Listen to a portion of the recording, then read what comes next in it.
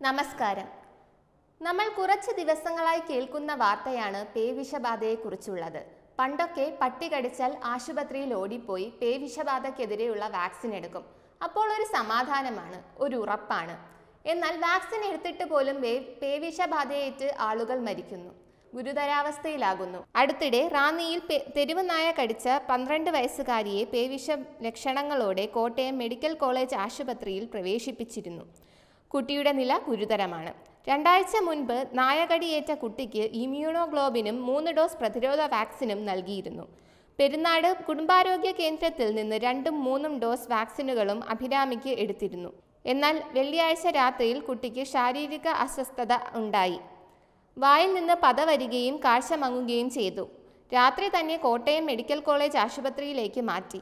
സംസ്ഥാനത്ത് പേവിഷ പ്രതിരോധ വാക്സിനും ഇമ്മ്യൂണോഗ്ലോബിനും പരാജയപ്പെടുന്ന ഈ വർഷത്തെ അഞ്ചാമത്തെ സംഭവമാണ് ഇത്. എന്നിട്ടും ഫലമില്ല. ഇത് ജനങ്ങളിൽ ഭീതി പരത്തുകയാണ്.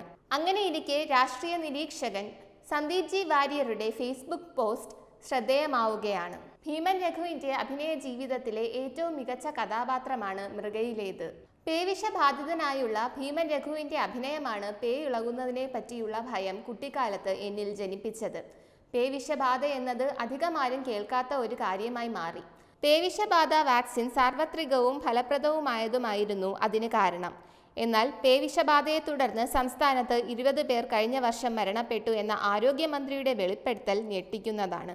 ഗുണനിലവാരം പരിശോധിക്കാതെ വാക്സിൻ നൽകി എന്ന മെഡിക്കൽ സർവീസ് കോർപ്പറേഷന്റെ കുറ്റസമ്മതവും ജനങ്ങളെ ഭീതിയിലാഴ്ത്തുന്നു. പേവിഷബാധയ്ക്കെതിരെയുള്ള വാക്സിൻ പോലും നൽകാൻ കഴിയാത്ത സംസ്ഥാന സർക്കാരാണ് കോവിഡ് വാക്സിൻ സ്വന്തമായി വികസിപ്പിക്കുമെന്ന് വീരസ്യം പറഞ്ഞിരുന്നത്. കൊട്ടിഘോഷിക്കപ്പെടുന്ന കേരള ആരോഗ്യ മോഡലിന്റെ മരണമണി മുഴങ്ങിക്കഴിഞ്ഞു.